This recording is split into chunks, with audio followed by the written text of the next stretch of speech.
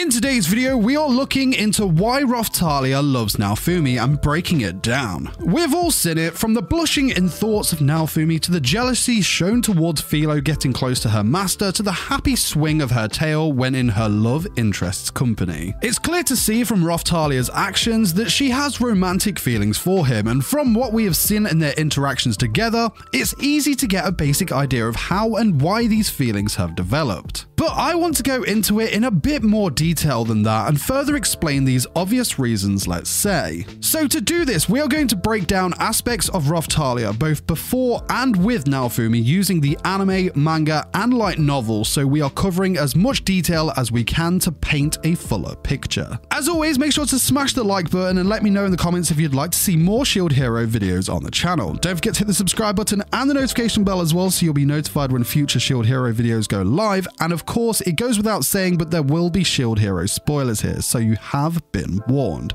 Anyway, as always, grab yourself a beverage, let's roll intro and get straight into the video.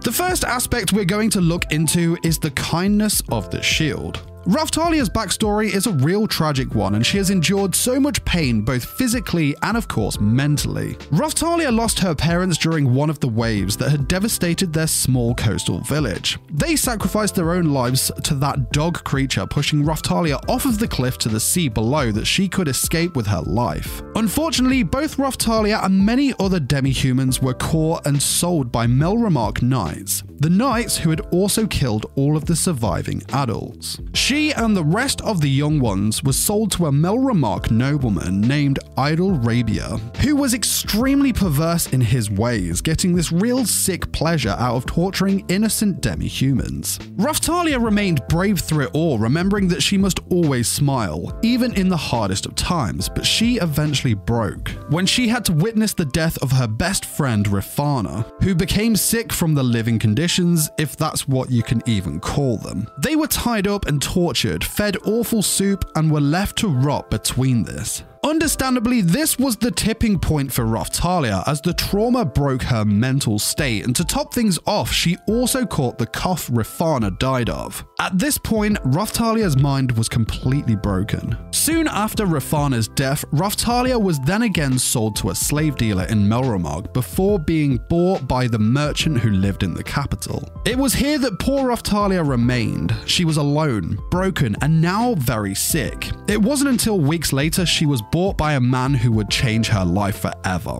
That man's name was Naofumi Iwatani. Naofumi's reasons for choosing her were, of course, not for kind reasons. He had just gone through an extremely traumatizing event himself and understandably was not in the right frame of mind, but the real Naofumi was still in there, and he treated his new slave better than she could have ever hoped for. Now, at this point in the story, Naofumi had next to nothing but still spent a lot on Raphtalia time, resources, and most importantly, money. The cough she had picked up that killed her friend was now being treated as he regularly made medicine for her that he would give to her whenever she coughed. He fed her good meals to get her strength back, he looked after her by cutting her hair, making sure her health and hygiene was in good shape. And it wasn't all physical things that Naofumi provided the young Raphtalia, but important mental help too. Remember that when these two first came together, Raphtalia was very broken from her past trauma. The obvious one to point out was her night terrors. It was the first time we saw the real kind-hearted Naofumi shine through as he comforted her while she was screaming, and once she fell back to sleep,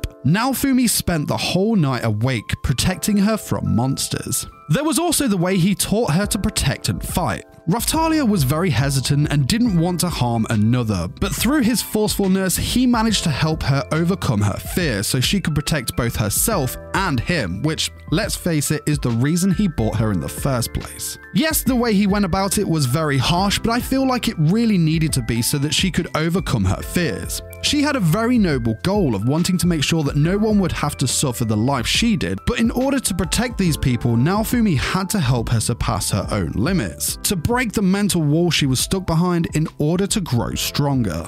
The other main way he helped her mental state was by simply treating her as an equal. The kid's meal he bought at the tavern was a huge deal to her, as one, it was a hot meal, and two, she could eat with him at the table. This simple treatment was new to her and one she hadn't experienced since the loss of her parents. Raphtalia, of course, was used to life after her parents. We saw the scene where she wet the bed and she was extremely terrified at how Naofumi was going to react. The poor girl was expecting the worst to happen to her because, you know, that was all that she knew. Naofumi, however, only saw the absolute fear and terror in the eyes of Raphtalia staring right back at him. And though he has no knowledge really on how to deal with this kind of thing, he treated her in one way she didn't expect with kindness. Following this, the ball he bought her too. This trivial expense at the time, where he had nothing money wise, was extremely important mentally to Raphtalia, as this brought the first true and genuine smile to this young girl's face, who probably hadn't produced a smile as such in years. Now, this wasn't in the anime, but a bunch of kids bullied Raphtalia whilst Naofumi was working over this ball. Naofumi heard the incident going on and stood up to those kids in front of Raphtalia in, let's say, true Naofumi style. Yes, you could you could imagine, right? Glaring eyes. Again, a small incident, but the bigger picture was that there was someone there for her when she needed it. She wasn't alone anymore and had someone there who was looking out for her. So, these early stages of Naofumi and Raphtalia's time together plays a huge role in her developing feelings for him that, you know, sounds like simple reasons when you first look at it, but when broken down, paint a much bigger picture. I think it's also cute that, you know, to this day, Raphtalia still has the first knife that Naofumi bought her, the flag from that first kid's meal, and the ball that he bought her.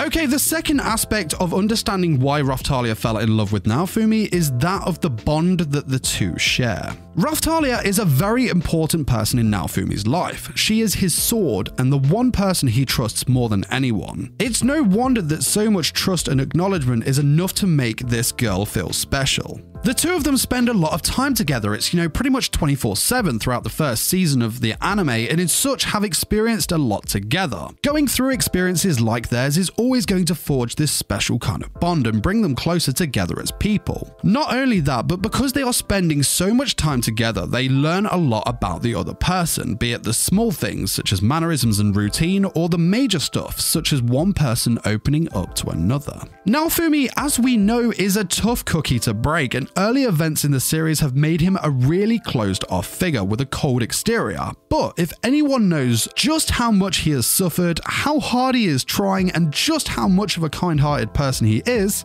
that's Raphtalia. Knowing these details and knowing the real Naofumi as a person, in the circumstances of Shield Hero and its events, this is a really intimate feeling for her. To Raphtalia, knowing she is pretty much the only one who knows these truths about Naofumi makes her feel all that more towards him. She knows that she is the one who he relies on, that she is the only one who understands him, and that she is the one who will stand up and defend him when no one else will. Being this much of an important person to him makes Raphtalia feel special compared to anyone else, and this drives her feelings for him romantically. It's the loyalty that she feels towards him. You know, the fact that she is his strongest pillar of support, all these contributions of what she is to him makes her happy. And I guess she almost sees their bond as a symbol of who she is to him or how she sees who she is to him, which we will touch on a bit later. Now, this almost covers the flip side of Naofumi looking after Raphtalia when she was younger, and is a continued play on just how much of an effect his early actions towards her has shaped her moving forward. Not only did he help her physically and mentally, but he also helped her emotionally. Yes, you could link that to mentally, but you know, the matters of the heart I feel differ. But yeah, I feel their constant time together, you know, be it good or bad, events, be them big or small, have played a huge role when it comes to Raphtalia's romantic feelings. Even the small details, such as her telling him off when he is being maybe a little too tyrannical, is a nod to just how strong a relationship the two share. Okay, final point I want to cover that plays a big part in Raphtalia's feelings for Naofumi is that of natural attraction. Raphtalia, as we know, grew up very quick physically as she leveled. Not only did she mature faster body-wise, but also mentally and emotionally. She went from being a 10-year-old to the equivalent of an 18-year-old, and with that, of course, teenage hormones come into play. For me, I think Raphtalia not only emotionally has feelings for Naofumi, but she is also physically attracted to him too. The guy isn't a bad looker, that's for sure. So we see this a lot later on in the first season, where she is trying to get Naofumi's attention. On the surface, it's for the obvious reasons of I'm not a kid anymore, so don't treat me like one, but it's also a hey, look at me as a woman. She definitely uses her body a lot more to try and gain his attention in that sense, and you can't blame her. Like, I've never obviously been a teenage girl myself, so I don't, don't, fully quote me here, but a girl needs that attention too, right? She wants him to see her in a different light. And there's no doubt he sees the strength of her heart, but you know, she wants him to see her as something more. And I think this is through more of the, you know, the natural means rather than a focused one.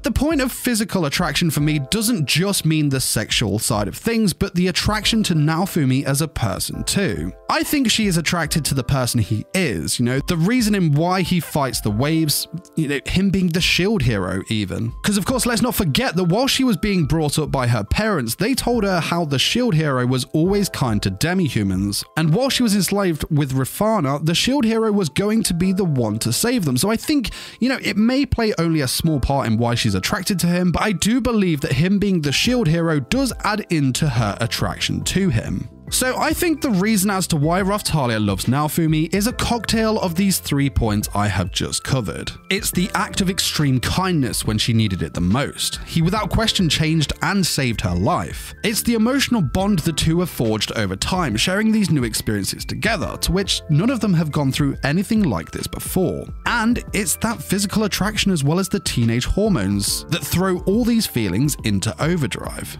And it's funny because when choosing to cover this topic, I thought it would be an easy one to cover, but the more I dove into it, the more I actually found. And, you know, I'm sure you know, I'll, I'll find details I've missed that I wish I'd added into this.